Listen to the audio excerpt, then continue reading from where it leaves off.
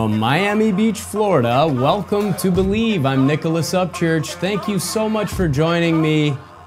It's an honor to have you here. We want to help you to find your truth, help you to succeed. We do that in five categories money and business, true success, health and wellness, world news, and our universe.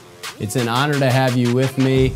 I want to help you to do things you never thought possible, help you to make sense of the world and come to your own conclusions about what might be going on so you can find harmony and we can get this thing going in the right direction. Our website is believe.love and also on YouTube, youtube.com forward slash believe loves you, believe iTunes.com for iTunes users, believeandroid.com for Android users. Wow, so much going on in the world. So much going on. Big weekend, big weekend. I was feeling crazy today when I woke up. I was feeling tired. I laid in bed. You know, it's nice for me to do that. I actually decompress. They say that everything that is vibrating is an illusion. And maybe that the only thing that's true is that silence, right? But sometimes when we're so busy, and we're moving around, it's tough to get back to that silence. So sometimes when I wake up, I do that. Nice silence. And then I woke up, we did a great interview. We've had so many great interviews, and we're, we're, we have so much more scheduled for you guys. So much more scheduled for you guys. Man, those believers, I, I, you know, we're getting some great comments now. I love what's going on out there. I love it. I can feel the momentum picking up. I can really feel it. We have our free energy project going on in Venezuela. So we have uh, Gabriella working in Venezuela. We've hired four engineers in Venezuela to work on bringing free energy to the world and try to end poverty. We're trying to end poverty, period, because you can replicate things with 3D printers. If there's free energy, there is no poverty. And it probably already exists. Nikola Tesla was working on it, but we're going to try to do it. I don't know if anything's going to come of it, but we're trying to do it. I'm trying to do my best for you guys because I want everybody to live their most fulfilling life, to get all of those things that you're meant to get in this life. And it'd be an honor if I could help you do that. So let's let's become more aware, shall we? Let's become more aware. Let's be open to things without saying, "Oh, I hate what you're saying. I hate what you're saying." You know what? It's tough for me too. It's tough for me to deal with a lot of things out there. You know, people saying this and that, but I'm going to send love to all the people that disagree I just, you know what? I love it. I love it because without that, there is no growth. Without that, there is no growth. So I actually do appreciate that. I appreciate it so much. An article that came across my desk that I thought was really important, and I want to start out tonight. We're going to get into a lot of cool things. Here's one right now that I think you should be aware of, and this one was really interesting to me. Putin, which is Vladimir Putin, the uh, president of Russia. Putin reveals fears that robots with artificial intelligence will one day eat us and asks the head of Russia's largest tech firm how soon it will happen, which is Yandex. So the Russian president was speaking to Mr. Volozh. Yagovryu говорю by the way. My Russian is rough. The chief of internet firm Yandex. He baffled Volozh by asking how long it will be till artificial intelligence eats us. Volozh said he hopes never and sounded optimistic, but Putin was unconvinced. Earlier this month, Putin said whoever becomes master of AI, which is artificial intelligence, will rule the world. Can you believe that? Now, it sounds crazy, but the reason I'm bringing this up, I'm going to put another article on screen right now and this is a story from Elon Musk. Elon Musk, you know, people, he's an American apparently, right? Uh, the head of Tesla and a bunch of other companies. Most interestingly enough, Neuralink. AI, a bigger threat to humanity than North Korea, Elon Musk. And uh, he's firm on his belief that uh, rising artificial intelligence is a threat to mankind and is leaving no chance to put his view forward. I guess I mean, yeah, he's he's basically putting his view forward at all costs. He's you know, he's not leaving any opportunity out. Musk reminded us of this again while talking about the potential or the potential nuclear conflict between the US and North Korea. Well, some people say that chips, you know, there was a chipping party. You ever hear of a chipping party? they had a chipping party in Wisconsin, some tech company, where they put things on Twitter. They were all excited that everybody was going to get chipped. And they made it look like, you know, people are so excited, I'm going to get chipped. It was kind of, it was, a little bit, a little bit strange because people were like way excited to get chipped. Like they had these smiles, like, uh, you know, really like fake looking and they got chipped, injected. Some people say that's the mark of the beast. If you look at Elon Musk and what he said about artificial intelligence in the past, he said, you know, when we get into satanic things and worshiping Lucifer and things like that, then you get into AI. The only thing I'm wondering about Elon Musk is this company Neuralink, he's, he, I think he wants to hook people's brains into the internet. And I'm not so sure about that because I'm not so sure about who might be running the internet right now. I think we probably should take a look at that. And I'm not sure why, on one hand, he's saying that AI is, is, could be a threat to humanity. And on the other hand, he has a company that's going to hook people's brains up to the internet and I guess to sort of fix them up. Neuralink is, you know, I guess there could be some some interesting ways to uh, cure paralysis. But by the way, there are other ways. There are other ways with, um, and we're going to get into some of those things some of those things that people were working on besides just what we think technology is. Because, in my opinion, although I would go to a doctor for almost any major condition, the real technology is within us and a lot of technology within the earth. And Nikola Tesla, who, again, Elon Musk owns Tesla, the company.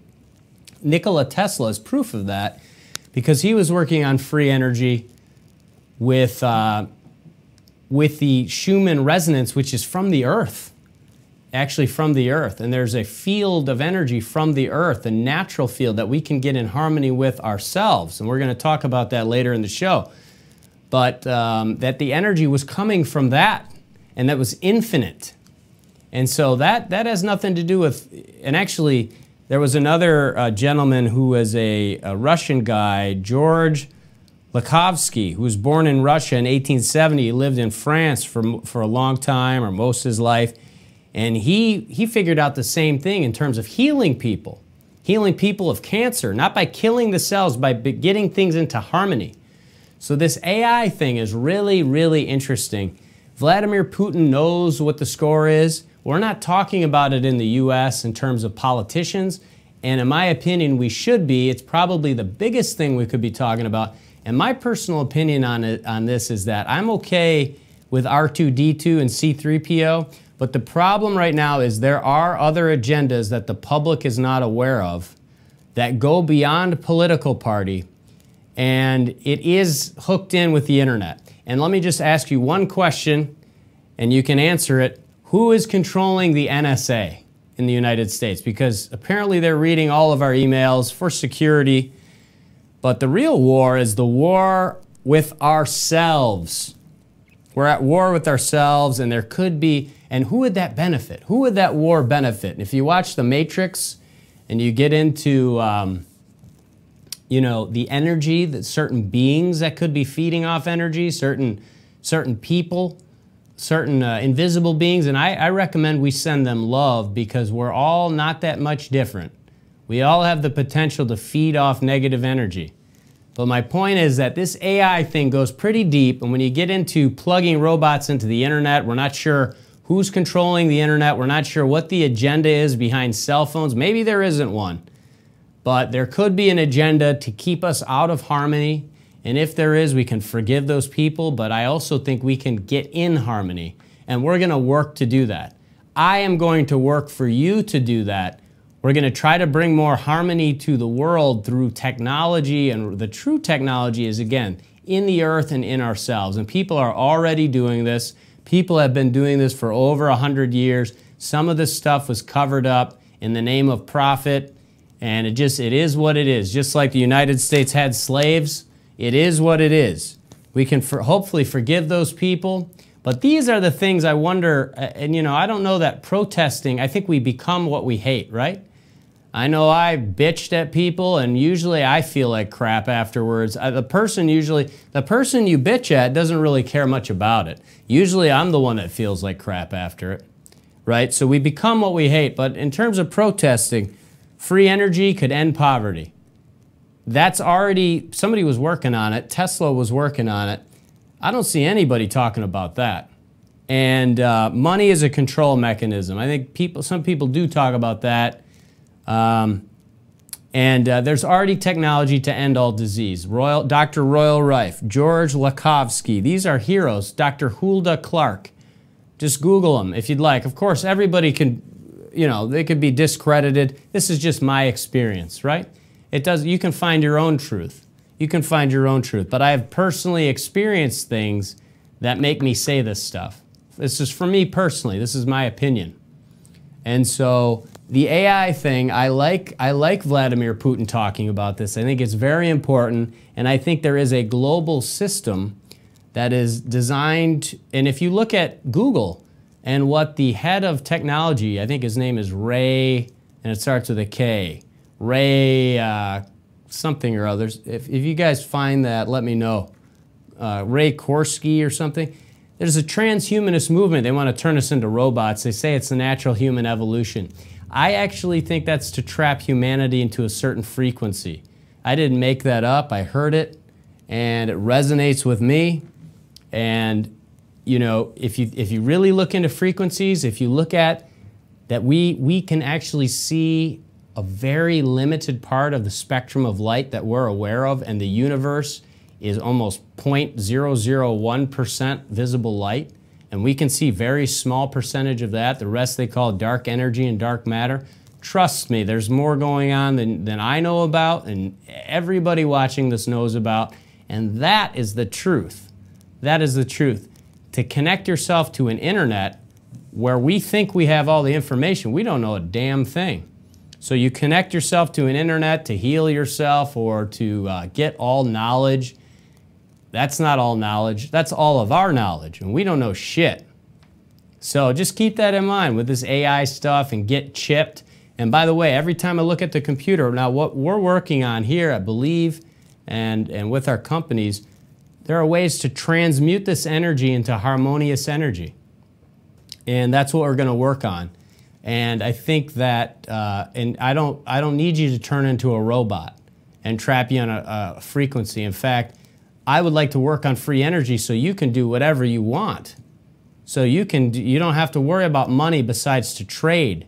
There's no there's no reason now I, I have to make money. We're going to sell things and I'd love you to buy them because I am living in the same system you are. So you, we all have to make money. We have CEOs on and guests that help you and want to help you make money. But there is no reason why right now we couldn't only be using money to trade right now and not to control your life. And so you have to go and you define yourself by how much money you make and everything else. With free energy and more advanced 3D printers, which they probably already have, you wouldn't need money besides to trade. And you would, you would be able to print out whatever you need and to manufacture whatever you need. I guess there's a limited amount of uh, steel and things like that. So, you know, it's quite, you know, there'd be a lot to this, right? And there, there'd be a transition, but there's no reason that can't be happening right now. And the real protest, you might as well just go yell in the mirror, and I've said this before, because nobody's talking about this. People want to take your eye off the ball. And we're going to talk about both the NFL and President Trump and all the, you know, everybody's, it's a big distraction from the truth. And this AI thing is very important. I love that the president of a major country, Vladimir Putin, is talking about. I thought it was hilarious that he's talking about the uh, AI eating us. But just watch the movie Terminator. I have a friend, one of my best friends. Uh, he knows who he is, right? Andrew, what's up? You know, his favorite movie is Terminator 2. Kind of interesting. Kind of an interesting movie, right? Um, so there's so much to think about with this AI. I want to know what you think about AI. Should we be concerned? How can we make it positive? How can we trust the people involved? Can we help people and the government to become more transparent? Isn't that the number one thing we should be concerned with?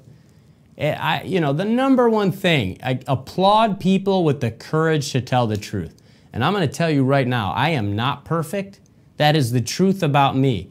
I represent the killers, the prisoners, the people who feel like shit, the people who are depressed, the people who would love to feel good, would love to be forgiven, would love to forgive others. I represent you, no matter who you are and what you've done. I represent the people who wish they could live in the light and that want to live in the light. I, I am not perfect.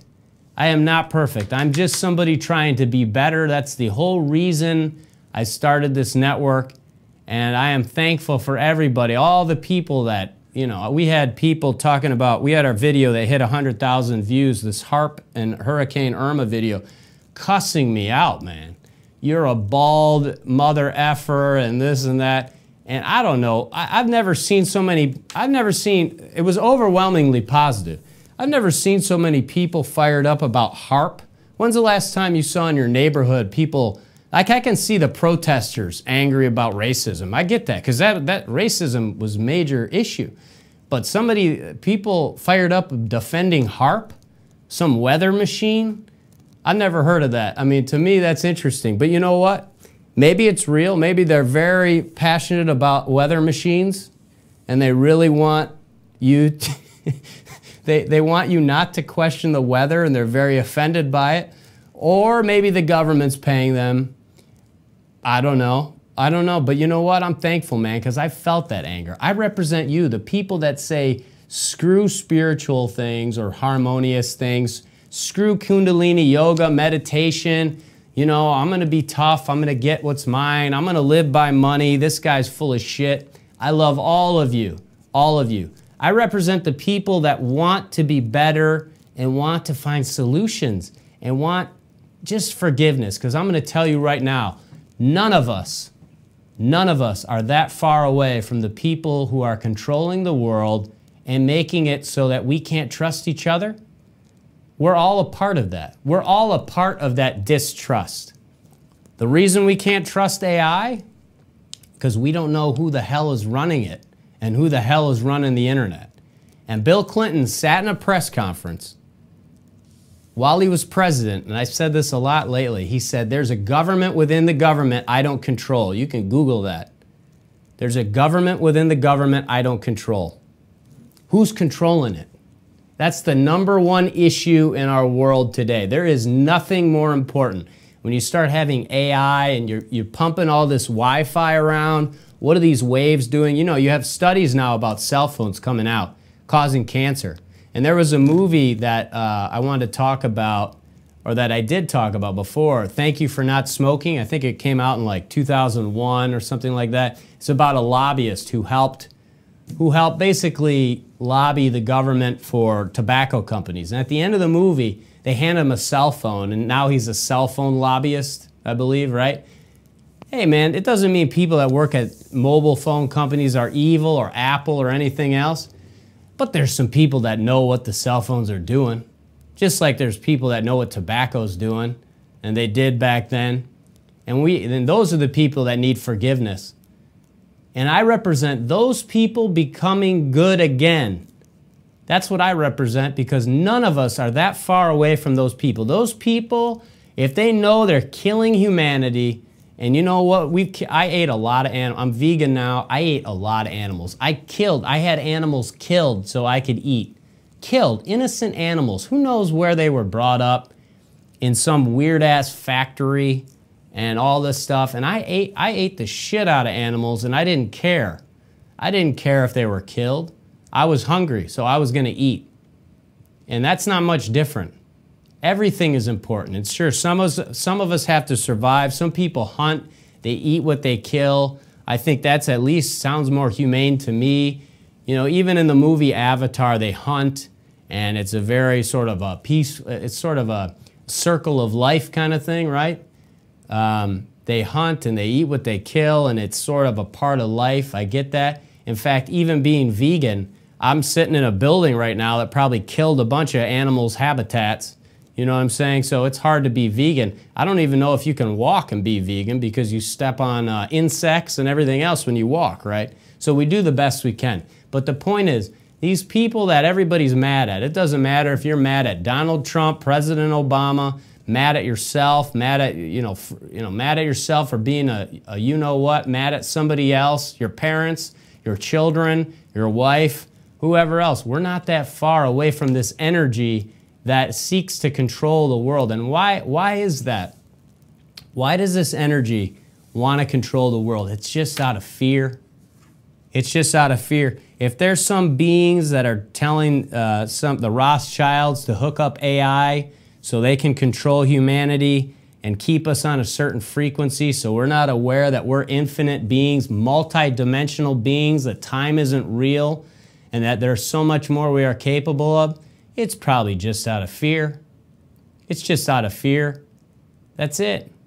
Maybe it's to survive themselves. Maybe they feed off of our energy. Maybe we're an experiment and there's certain beings that don't want us to wake up they don't want us to wake up because, you know, that, that would screw up their experiment.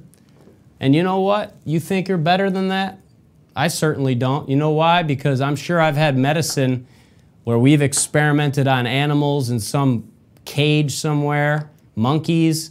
Uh, at Pfizer, I'm from Michigan. Pfizer has a plant in Michigan. Uh, it's more than just Pfizer that does this. And they torture the shit out of those animals and they don't care and they don't want them to wake up because then they can't do the experiments, then they can't sell that drug. And to them, there's a higher good, you know. But we're not the top of the food chain. We're not the top of the food chain, and you not, you're not only this body.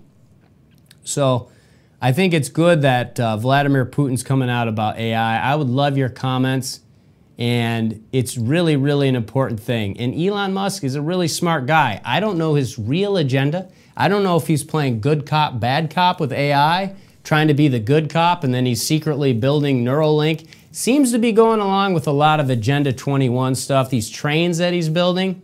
If you look at the United Nations Agenda 21, they, they're shooting to push people into cities off of land and build these high speed trains. And I don't know, Elon Musk seems to be doing things along those lines.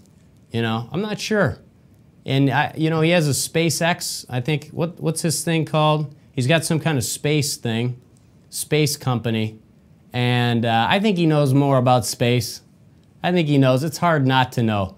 There's got to be more going on there. If there's other beings, I, I seem to think Elon Musk knows. I seem to think Elon Musk knows. I certainly think the government knows a hell of a lot more than what they're telling us. And Dr. Steven Greer had, an, in my opinion, an alien body that he took to Stanford and they verified it was a real body a six inch seven year old.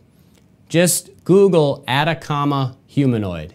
Ata, A T A C A M A humanoid. It was in Huffington Post, millions of views. Of course, they're going to say that it's probably human, but when's the last time you saw a human that looked like that and was six inches tall, a seven year old human? You ever seen a seven year old that's six inches tall? I've never seen it.